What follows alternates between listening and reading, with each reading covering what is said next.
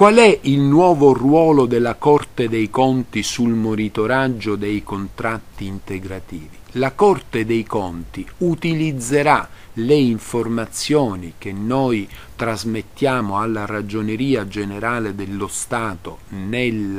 eh, conto annuale del personale con i seguenti eh, diciamo, scopi la Corte dei Conti nazionale utilizzerà questi dati nell'ambito del referto che ogni anno consegna al Parlamento sul costo del lavoro pubblico.